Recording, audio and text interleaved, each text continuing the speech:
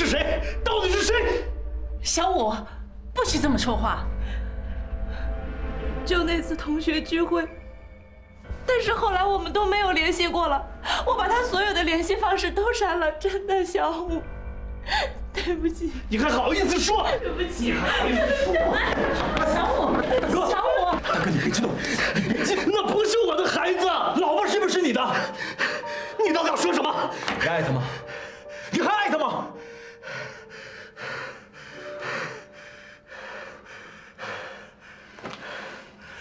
大哥，咱们像朋友一样说几句心里话好吗？我们同命相连。什么同命相连？三个月前，我心爱的女朋友跟我提出了分手。突然间有一天，她跟我说她怀孕了。你跟我说有什么用啊？你听我把话说完。我当时不知道这个孩子是不是我的。换做是谁都忍不了，你就编吧。我没有编，我接受。你还真能忍。说实话，当时我的心像一把刀子一样，一刀一刀捅着这里。我就心想着，等着孩子生下来，我倒要看看是不是我的。那到底是谁的？孩子是别人。这种女人就应该甩了她。你知道，我看着我当时女朋友的时候，她那种可怜、无助的眼神，忽然间感觉到，我是她这个世界里唯一可以依靠的男人，所以我接受了。那结果呢？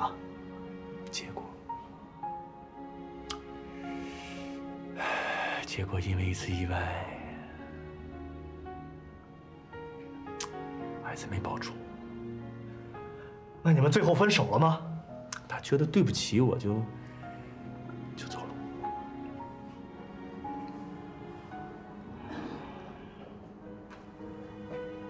大哥，我看得出来你特别爱你的老婆。你老婆也非常非常的爱你，咱们都是做男人的，心胸宽阔一点，宽容一点，啊！你说人这一辈子谁没犯过错误呀？你就没犯过吗？你们还是彼此相爱的，将来的生活一定是幸福的。抓住他的手。陪他度过这个难关。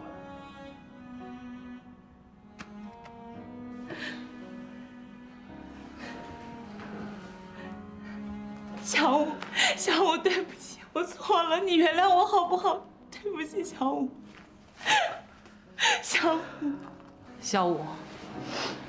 其实，陈奇的事情，我早就知道了。小五啊。你常年不在家里，我跟陈七是相依为命啊。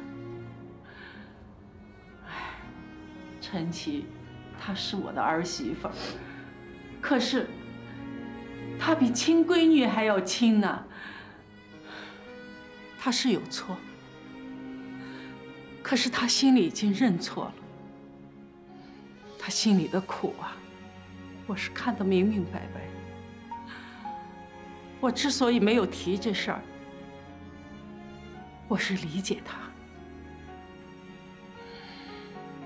我跟你们说啊，从今往后，这孩子他就是我的亲孙子。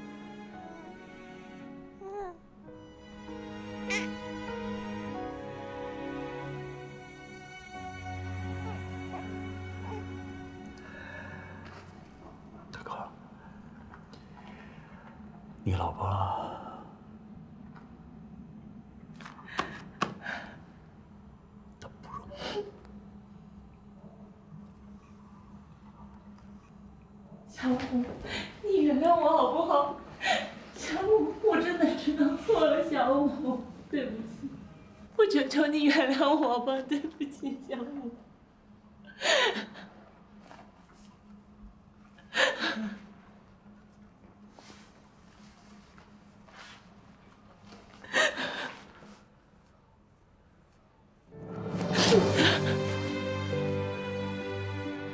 谁都不希望有一个破碎的家庭。为了家庭的幸福，男人应该主动站出来，哪怕做一点点的退步，这个家庭才会一直幸福下去。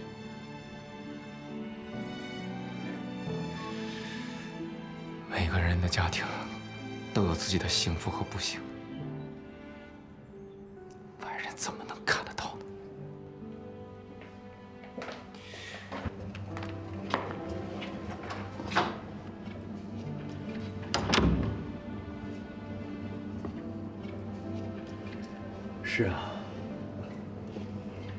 到一个幸福的家庭是很难的。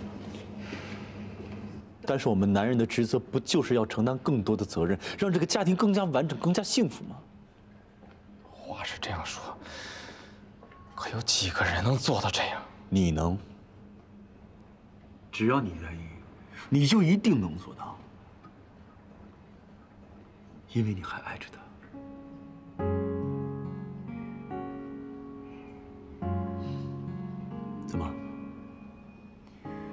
不打算跟钱磊谈谈吗？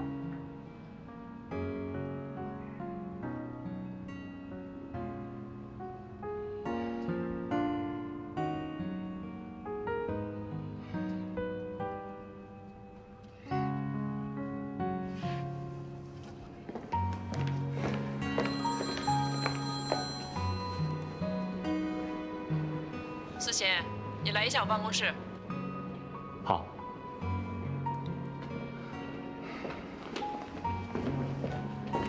思贤，这回该回家了吧？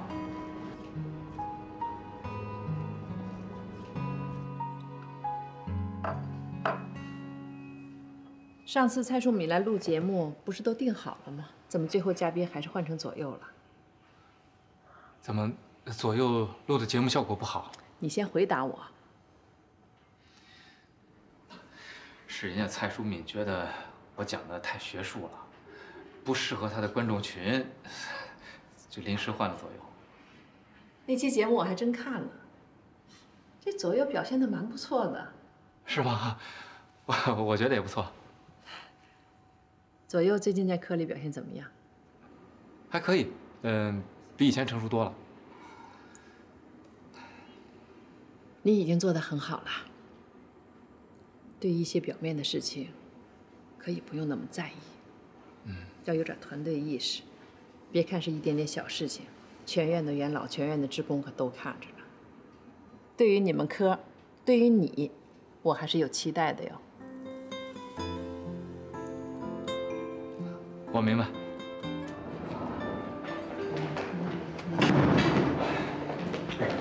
哎，左右，我刚刚从院长那儿出来，院长夸你的节目做得好。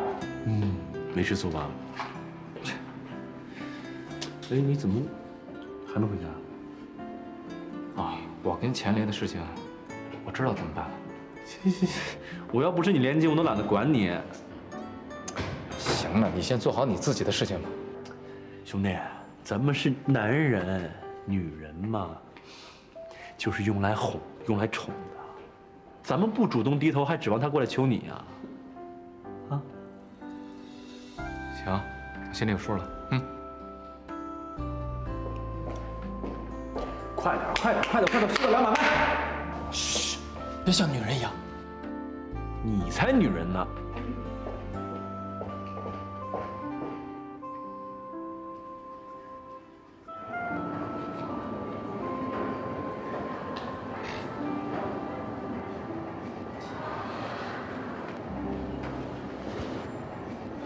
哎，梅小姐，你好。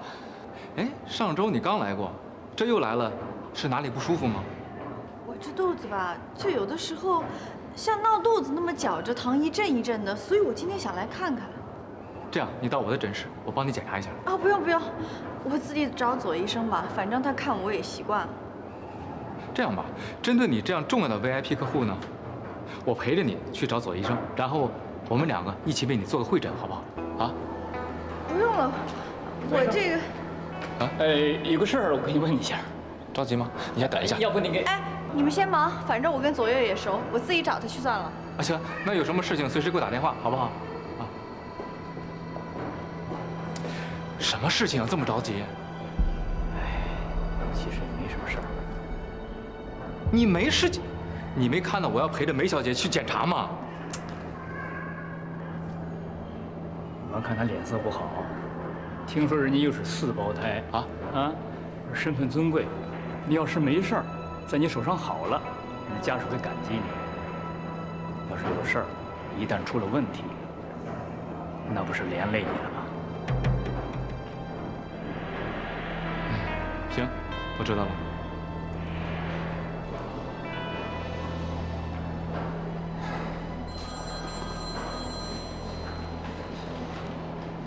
喂，爸。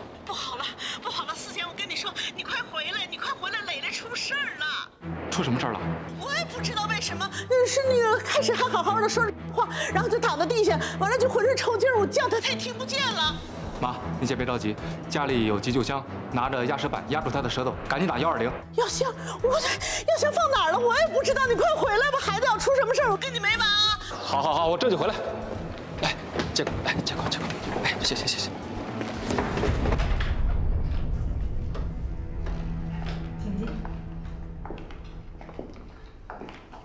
稍微等一下，医生马上就来。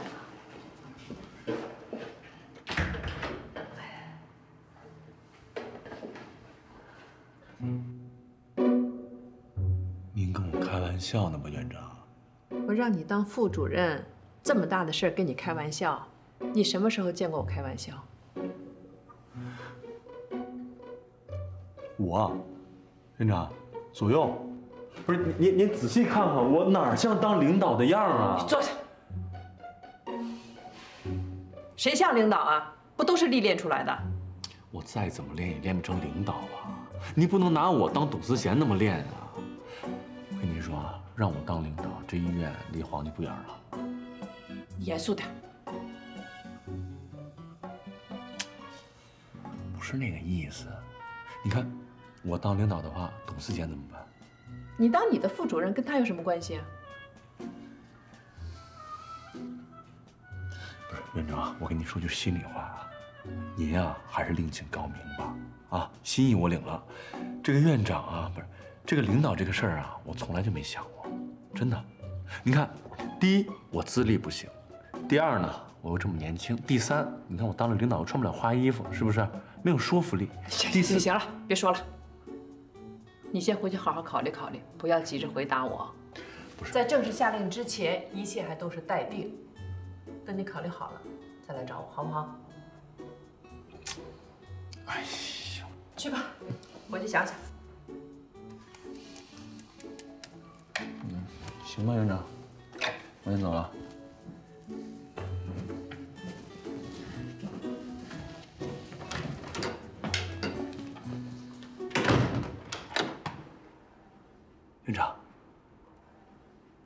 怎么考虑好了？真好。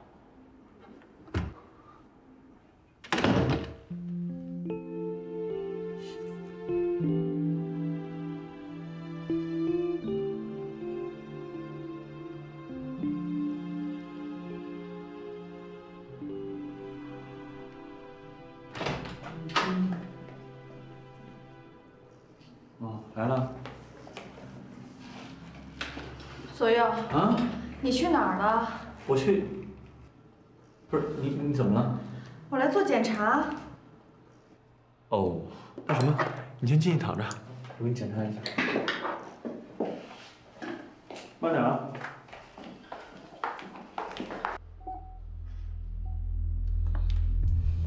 躺平啊，放松，深呼吸。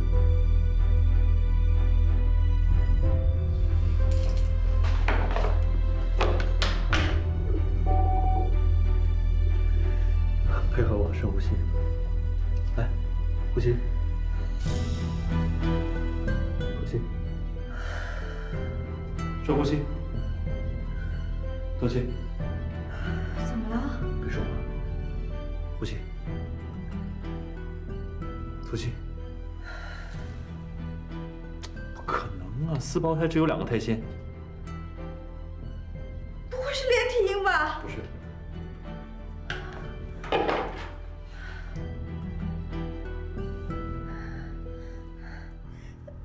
到底怎么回事？你说话呀！你告诉我，今天你找我来是不是哪不舒服？我就前段时间像闹肚子一样，一阵一阵的疼，一会儿疼一会儿不疼的。扶我起来看看。别动，别动啊！你扶我起来，快！别起来，准备推车。好。怎么了？别激动，别激动，听我的，别激动，没事的，没事的，好吧？啊！疼！别紧张，深呼吸，握住我的手，没事的。啊，有我在，有我在。啊！深呼吸，深呼吸，深呼吸，好吧？深呼吸。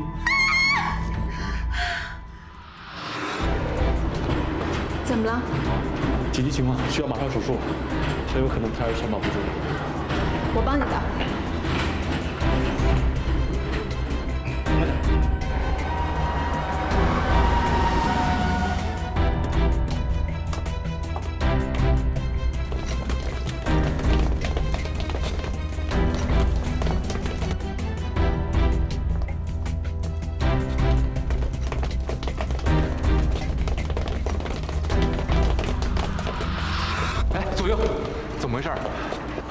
胎已经没了两个，怀疑子宫内大面积感染，只能先做引产手术。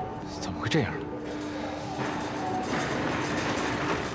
我姐，我姐她怎么回事？先兆子痫，需要马上抢救。那孩子能保住吗？尽量争取吧。先帮你姐夫吧。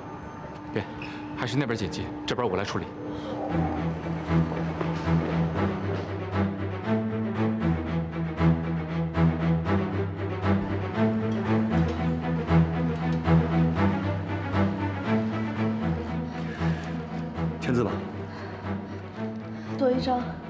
千万别记恨我啊！请你一定要保住我的孩子，哪怕保住一个也行。你现在身体最重要，孩子以后还可以再生的。不是不帮你保住，现在有两个胎儿应该已经死了，另外两个，一个已经进入感染区，另一个肯定会受到影响。你最好做好心理准备。我没法做这种心理准备，我求求你，帮我保住孩子。你的心情我们都很理解，你放心，但凡可以的话，我们一定会尽力的。你们必须帮我保住孩子，哪怕保住一个也行啊！签字吧。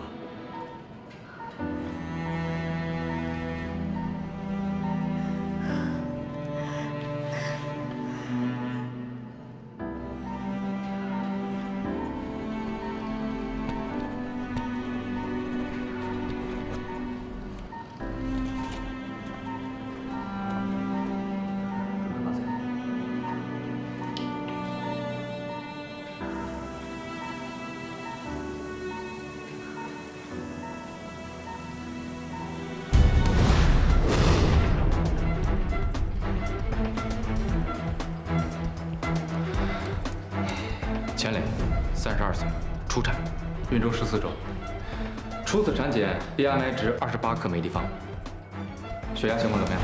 血压升高到一百一百五，并伴有先兆子痫。初步确诊，妊高症，并发重度子痫前期，立刻准备百分之二十五的硫酸镁，还有五百毫升百分之五的葡萄糖净零。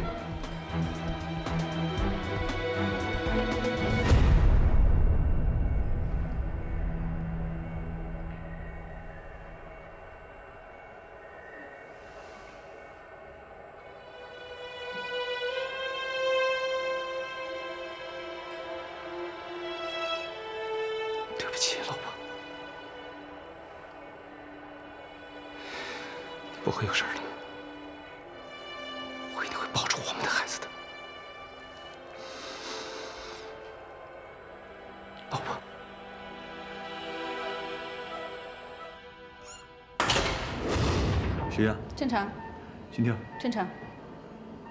准备手术。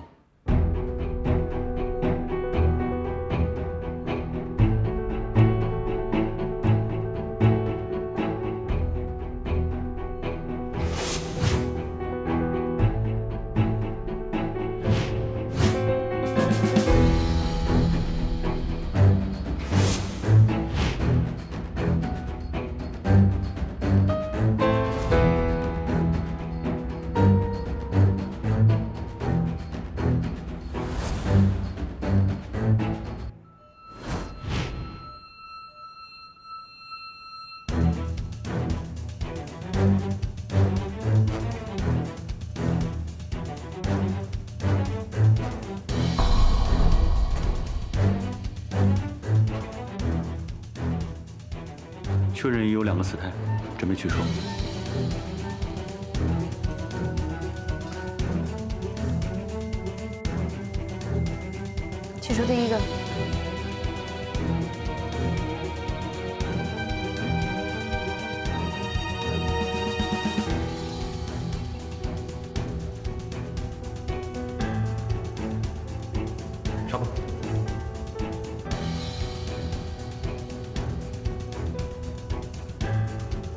取出第二个。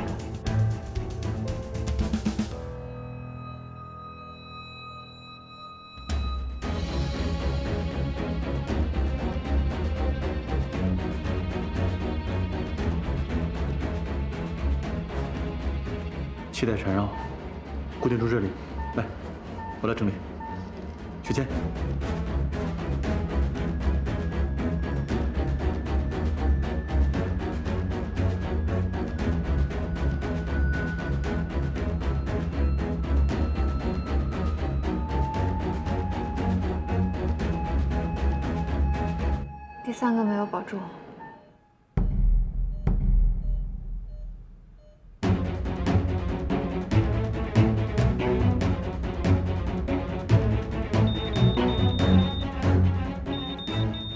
血压降低，心跳加速。目前出血量五百 cc，暂时不需要输血。最后一个争取保住。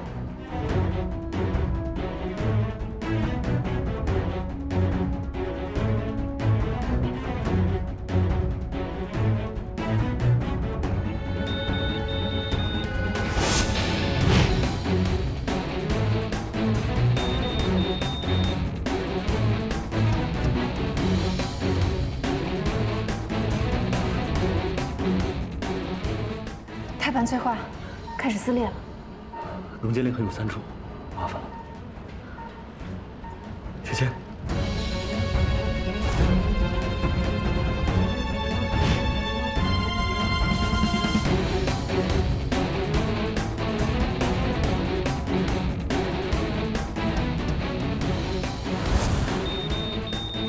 产妇生命体征下降，注射肾上腺素。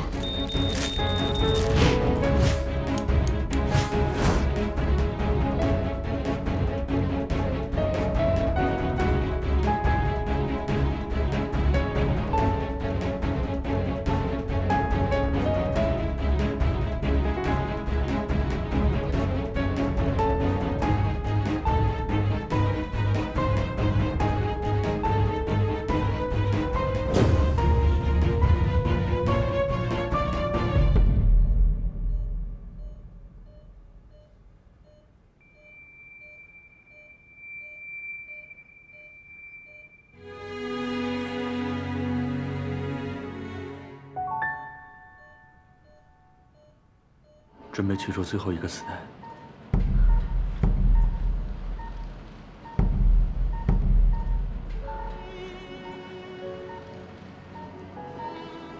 全部取出。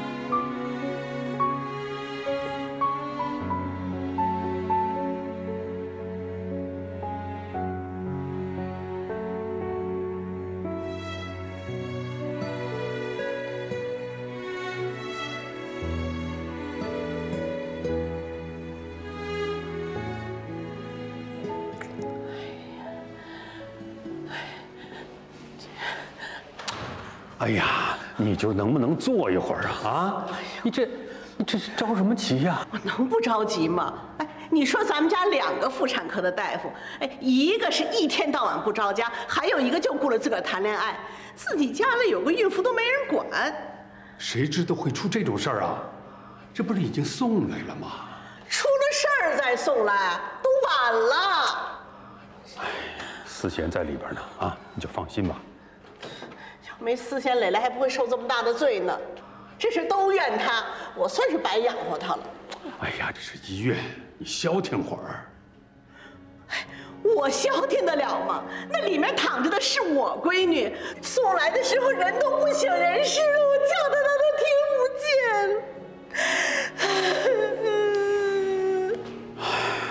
好了好了好了，思贤呐是这个医院里最好的医生，你还担心什么呀？肚子里头还有孩子呢，我都不知道现在怎么样。思贤呐是妇产科的专家，他会有办法的。如果他也没有什么办法，那就等以后再接再厉了。再接再厉，再接再厉。什么时候才能再有孩子呀？咱们，蕾蕾好可怜啊！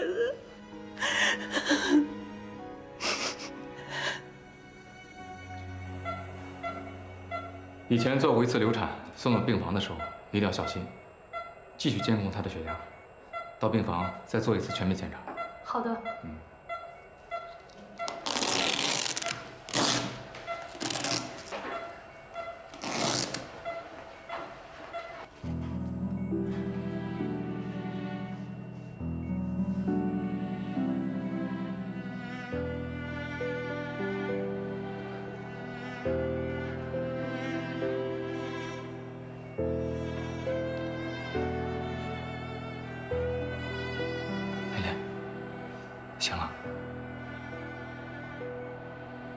怎么会在这儿啊？不记得了，在家里面抽搐，晕倒了，送到这里控制住了，放心吧，孩子没事吧？没事，你们两个都没事，放心吧。对不起，思贤，我不应该跟你赌气的。老婆，别这么说，是我对不起。你怀孕了，我应该陪在你的身边的啊。我真的很想要这个孩子。我知道，我要保住我们这个孩子，放心吧。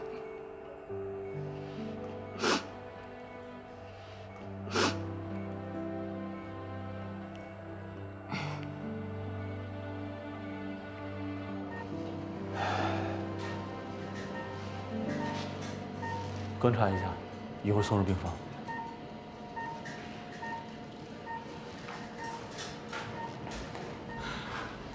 你现在都不知道怎么跟他说。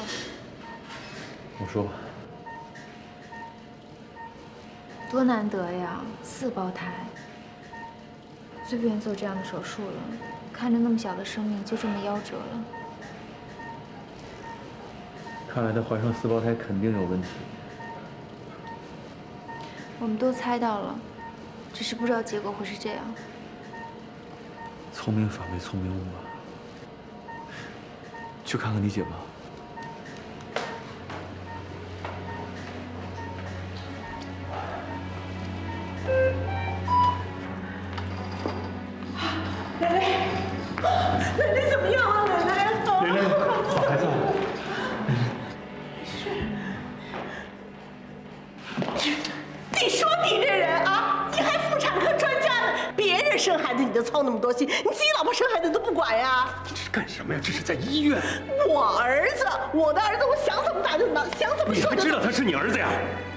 你这么做，以后让他在医院怎么做工作啊？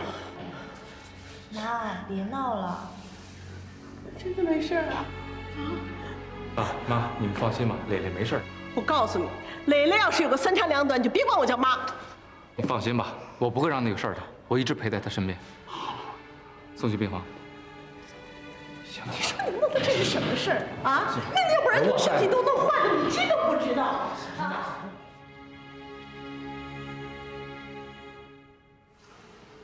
怎么样了？没什么大事儿，留院观察，系统治疗。我们能做些什么吗？轮流值班吧。你们那边情况怎么样？我们已经尽了最大努力了。就怕这事儿没完没了的。姐，你放心，好好养好身子，全家人都在呢。行，左右，呃，你去忙你的病人吧，有我们在呢。啊。嗯。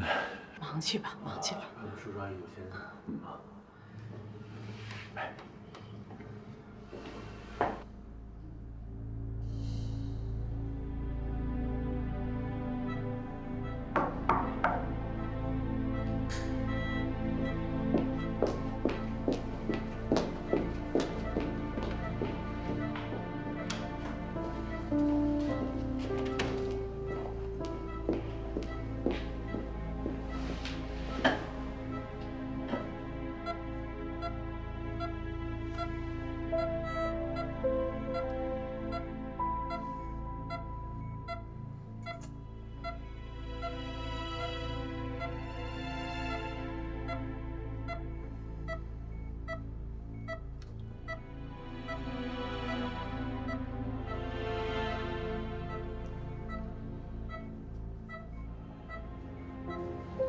你就是我太太的主治医生。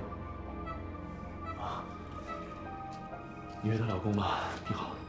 我不好。我四个孩子都没了，你觉得我该好吗？别太难受了。换成是你，你难不难受？我们已经尽力了。是吗？尽力了？你以为一句尽力了就能摆脱所有的责任，对吗？对，没错，我太太是在责任书上签字了。那您的意思是？我不喜欢仗势欺人，也不喜欢以权谋私，但我要讨一个公道。你觉得你老婆的责任是我们造成的？我太太出了事儿，作为主治医生，你不知情，四胞胎有危险，为什么没提前发现？是我现在非常理解你的心情，但是如果你这么说的话，无话可说。因为你理亏，所以没话说了吧？先生，你老婆在这个医院做的所有的化验、所有的数据报告，你可以到任何地方去检验，我没有问题。好，我一定会找比你们更权威的部门检测。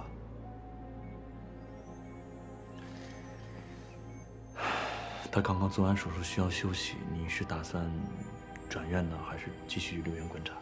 这就是我们自己的事了，用不着你操心吧？那有事随时找我吧。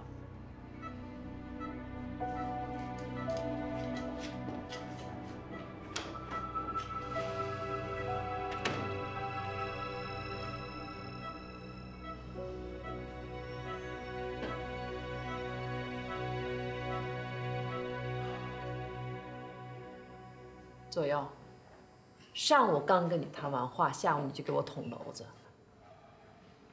院长，我们没有做错任何事，一切都是按照规矩和流程办的。一切都按流程规矩办的，你敢把你刚才的话再说一遍吗？可是化验结果显示是一切正常的。先听院长把话说完。院长，你们俩先坐下。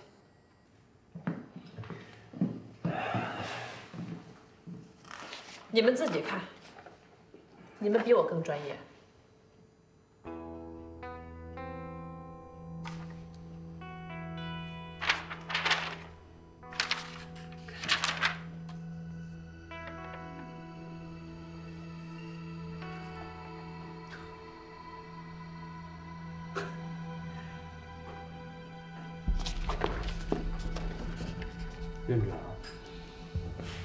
肯定他们的化验单是伪造的。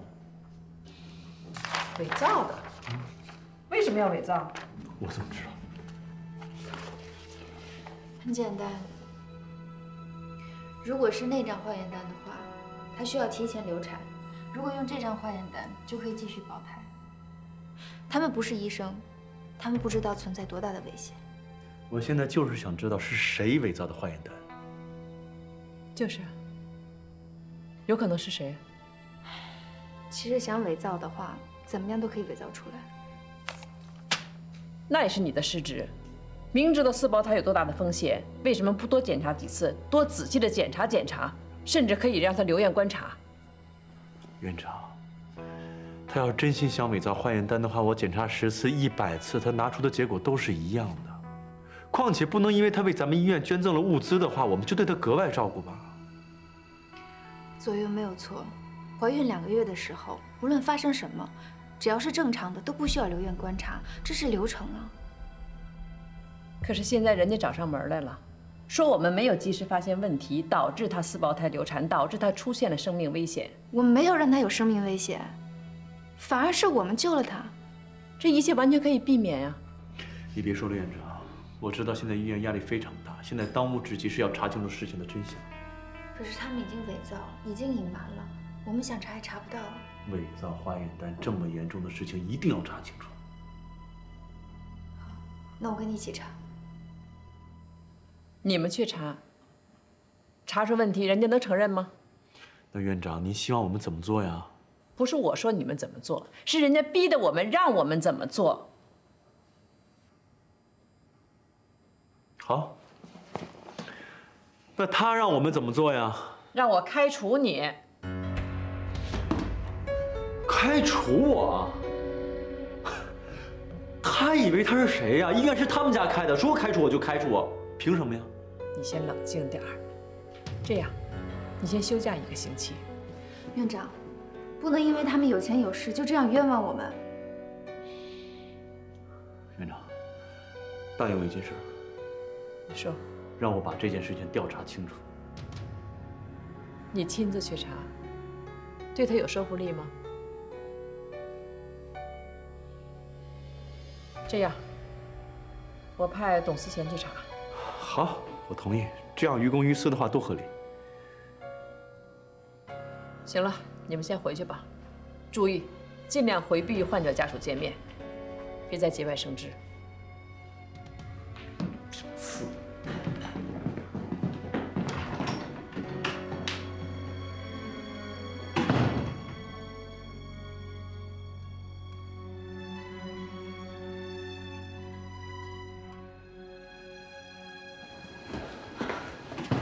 别生气了，事情一定会查清楚的。习惯了。嘴硬。就怕董思贤没时间，换别人照顾他老婆，他不放心。我就知道你不甘心。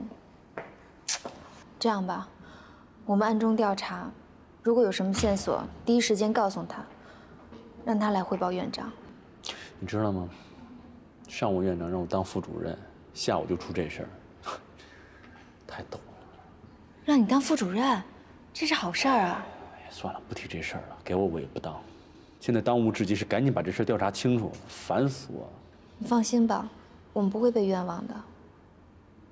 哎，真的，这化验单子太可疑了。如果是复印社打印出来的，为什么连纸张都一样？